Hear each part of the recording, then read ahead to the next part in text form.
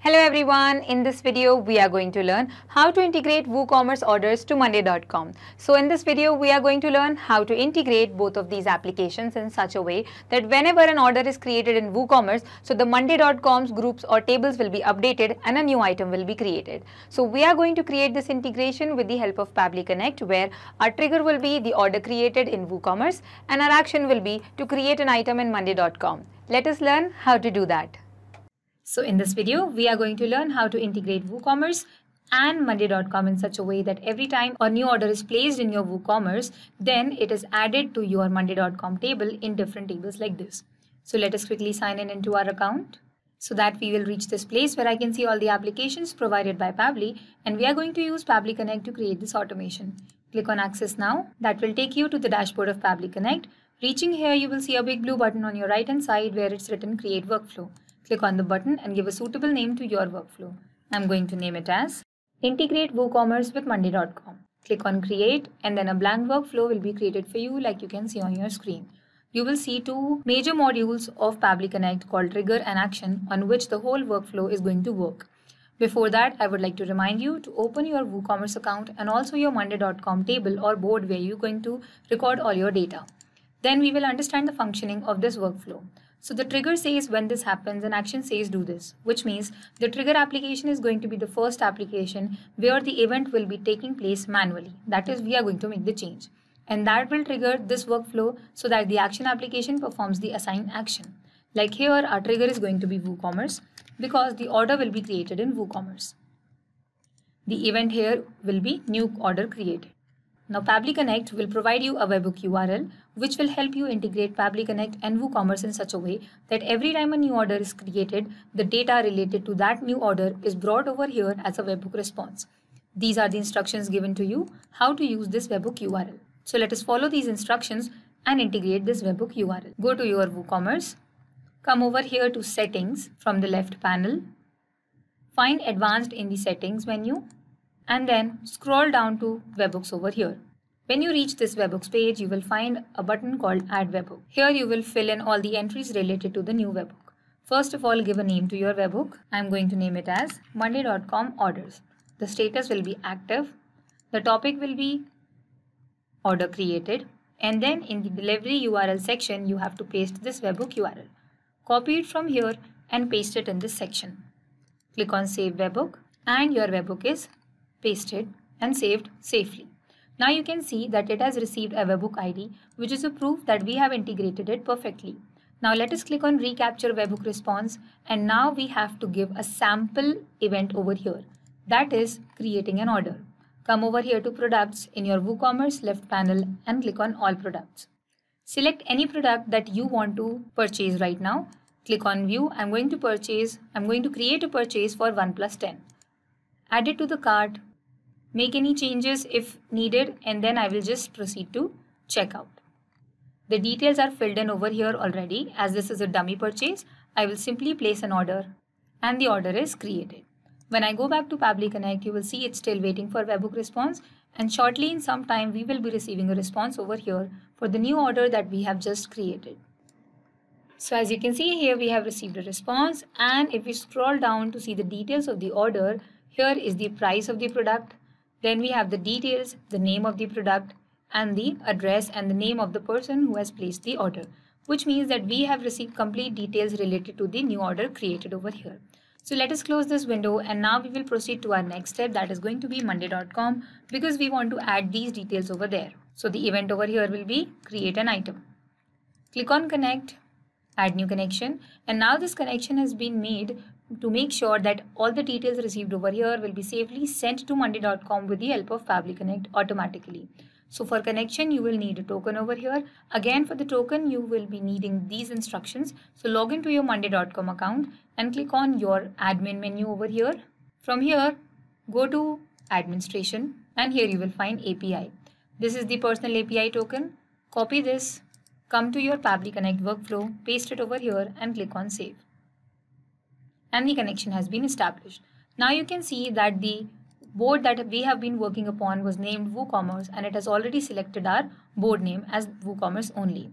Now group title is given like this. I want to name my group names, the table names over here as the products that I have in my WooCommerce. So I'm going to name my first table as 1 10. And let's say I have one more product in my WooCommerce called smartwatch. Like this, because this is a dummy workflow, I'm creating just two tables to make you understand the workflow. Otherwise, you can create more group over here based on what are the number of products you have in your WooCommerce. Coming back over here, we will have to decide a table for which our order that has just been created will be collected over here. But what if you have another order? This is for OnePlus phone. If you have some other product over here, then it will be automatically added to the same group because we will be selecting here just one group over here. We are not going to change these details every time again and again once we have created the automation. So in order to set such logics and changes over here, we are going to add one more step right here, which is called lookup table. Click on the plus button between your trigger and action window and lookup table over here you have to type. That is a feature built inside Pabbly. Here the event will be to lookup table. You can read what is given below. It gets the match data from lookup table fields by lookup key. So you have to enter a key over here. Click on connect. The connection is not a difficult part as it is built inside Pabbly itself. Now here you will find the lookup key. So lookup key is going to be the product name because that is the unique difference between every new product. So either you can scroll and find the details or you can simply take advantage of the search and map data field and type your hint over here. It will straight away take you to the value. This is the name of the item OnePlus 10. Whenever a new product is purchased or a new order is purchased over here with the new name of the product, that will be changed over here because we have mapped the value. Now, in case of label, we will type over here all the details of the products that we have. If our product is 1 10, then the value will be the group ID of your monday.com table. Click on this plus button, add another product name, which is smartwatch. And then here we will enter the value name like we have entered over here. So in order to get these group ID, we will take help from our next step of monday.com. Here the group title is the first one, 1 10. Refresh this one and see, this is the name of your group. Click on map and see, the name of your group is topics. So copy this name from here and enter it in this value. So whenever the product 1 10 is purchased, the data will be sent to the group topics, which is basically 1 10 only. Similarly, again, deactivate this map button and then go to smartwatch. Now map this and you can see the group ID for smartwatch is group title. Copy this one and paste it in the value section in front of smartwatch. So now every time smartwatch is purchased, the data will straight away go to group title, which is basically the smartwatch table over here. Now, once this is done, click on save and send test request. And here it's a success. The status of our response is success because the result label is 1 10 and the value is topics over here. So this step has been successfully enabled. Now, in order to work on your next step, click on connected again so that you can refresh this step and start again. The board is same. The group, now you will map it. Why are you going to map it? First of all, activate the map button. And then every time this lookup will have a different name over here for your different table. So that is why we need to map it. Otherwise, all the data will be stored in your topics only. Now, because you have activated the map button, it will give you these drop down menus to map your data. From your lookup table, we will take this topics as your value to be mapped. In your item name, you will map the name of the person who has purchased your product. So the name of the person is dummy. This was the first name. Give a space and the second name was user. So this is the name of my person. Now in name section, you can leave it empty. You can see that these are the customized table columns I have prepared for myself and that is why that is how you are going to enter the details. Now for date, you have the date over here as you can see in this format. If you want to split this date, you can. So for that, again, we are going to click the, on this plus button and add a step called text formatter. Now the step text formatter is an optional one. Only and only if you want this date and time to be separated. Otherwise, you can straight away enter the date and time in that format only. I'm going to split my date. Click on connect. Now connection again is not a difficult task because this feature text formatter is built inside Pabbly. we will split the date we have right now.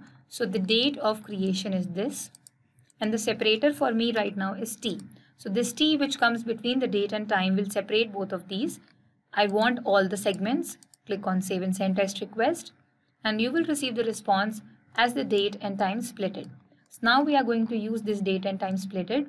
Now again because we have add, added one more step between your trigger and action, you will click on connect and refresh this step. Now see, activate this map button. Do not forget that when you have refreshed this step, you have to again enter all the values. Mapped the group name.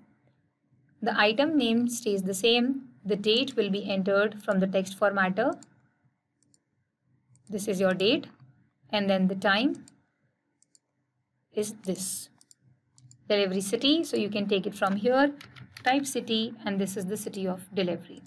Now click on save and send test request and the data create item ID is here. Now, whenever an ID is given to you in response, which is a proof that your work has been done and the response says that the automation has been created successfully.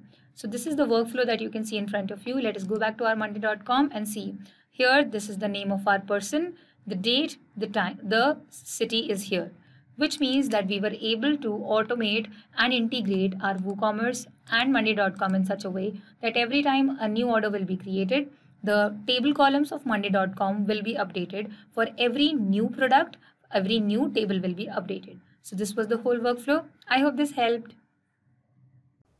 Not just these applications, but you can integrate many other applications using Pabbly Connect. If you have any issue regarding Pabbly, you can email us at support at pabbly.com. You can ask your queries at forum.pabbly.com. And if you have any doubts regarding our pricing, then you can connect us through this given website. If you found this video helpful in any way, then make sure to share this with your friends and colleagues to make their life easier by creating automations. We will meet in the next video. Till then, do not forget to like our video and subscribe to our channel. Thank you.